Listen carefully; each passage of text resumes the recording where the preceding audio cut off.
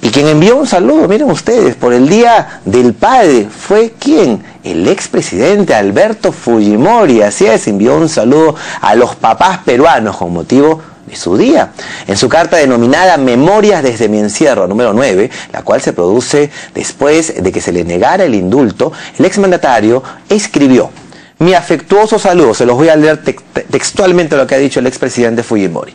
Mi afectuoso saludo desde la prisión de Barbadillo para todos los peruanos que como yo tienen la suerte de ser padres y de ser el futuro de nuestro país a través de esos ojos jóvenes y entusiastas de sus amados hijos.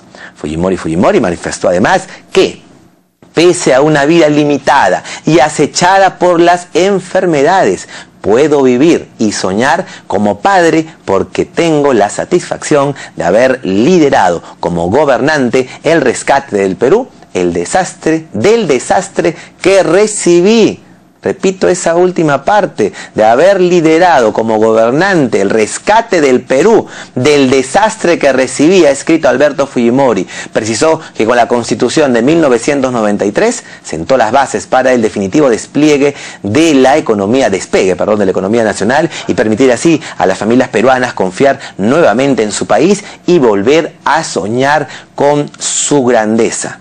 Antes del gobierno, el expresidente Fujimori, ¿quién gobernó? El expresidente Alan García Pérez. El presidente Ollantumala